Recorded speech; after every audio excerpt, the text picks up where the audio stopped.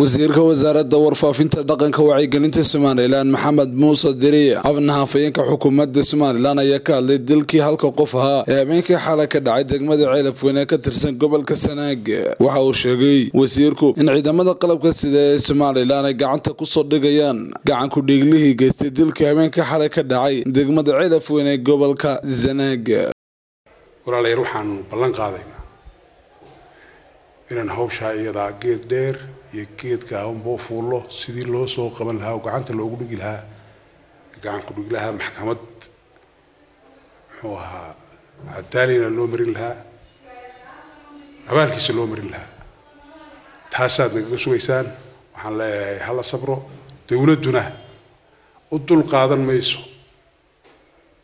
Haddii odayaal geli jireen haddii wax laga ergeyn jiray haddii duqay iyo muxuu aha salaadiin la sugi jiray ciidanka qaranka ciidamada qaranku waxa ay ku amran yihiin cid kasta oo dhib geysata inay soo qabato halkuu joogo u tagto. Dabeedna lagu abaalmariyo taasaa ka go-an taasaad ku dhur sugaysaan taasaad naga warhaynaysaan taasaa la fulinaya. Kiisasi wata waxauu tacsi u diray dhammaanba eheladii iyo qaraabadii u ka baxay marxuumku ee gacanta ka xaqdaran ee ku dishay degmada ceelafweyn anigoo ku hadlaya magaca xukuumadda jamhuuriyadda somalilan. Tacsi tiiraanyana halkan uga diraya. Runtii waxaa dishay gacan ka gardaran gacan gacan ku dhiig leh xukuumadda waxa ka go-an.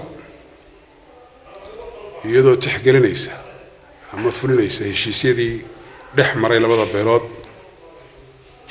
ee sacad yunis iyo bicido oo ahaa ciddii wax dishay in loo dilo. Xukuumaddu waxay geed sare iyo geed hooseba u fuulaysaa sidii ay u soo qaban lahayd gacan ku dhig lahaa.